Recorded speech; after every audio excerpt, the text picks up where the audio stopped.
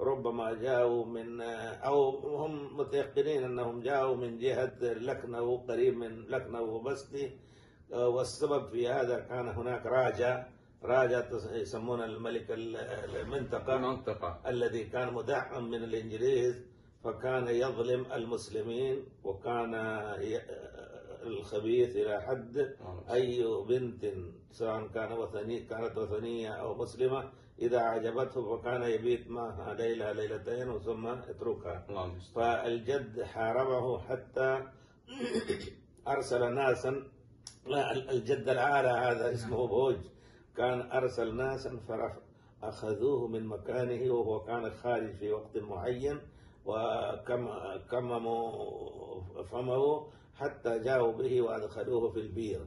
البير ودفنوا البير.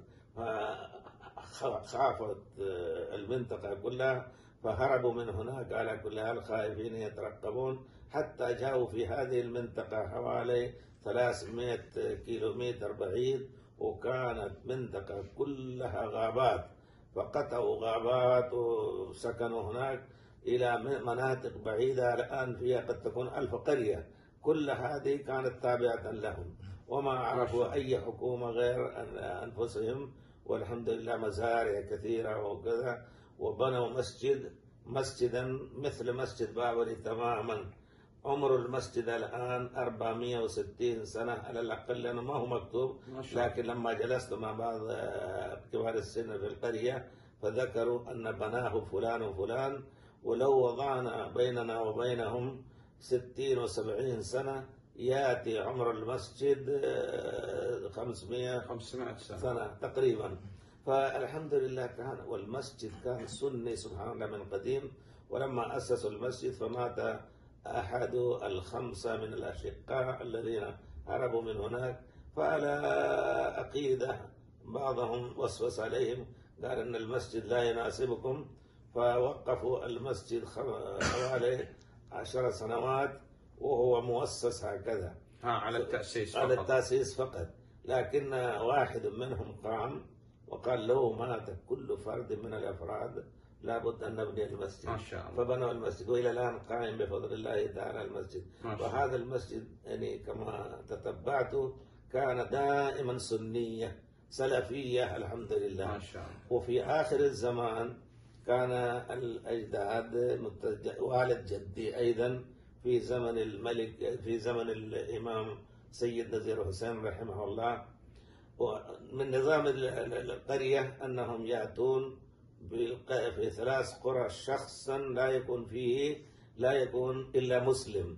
سواء كان نجار أو الحداد أو القصار هؤلاء كلهم مسلمون. ما شاء في الله. حين أن هذه المهنة في الغالب يزاولها الكفار. نعم. الكفار فكانوا وأيضا جلبوا قبيلة من الشيخ يسمون شيخ فقبيلة هذه جلبوهم من مكان بعيد وجاءوا بهم وسكنوهم بنوا لهم بيت وليس لهم ولا قطعة من الأرض إلا أنهم ضمنوا لهم كفلوا لهم الإعاشة تامة وكل واحد يخرج لهم ما يريد وكذا فيسل يسلون بهم الجمعة والجماعات. كذلك يدرسون أصحاب القرية وكذا ما شاء الله. باللغة الفارسية تلك الأيام. ها اللغة الفارسية. الفارسية كانت السائدة. نعم. مع اللغة الأردية الضعيفة تلك الأيام. أصلها هي لغة أردو منذ 300 سنة فقط.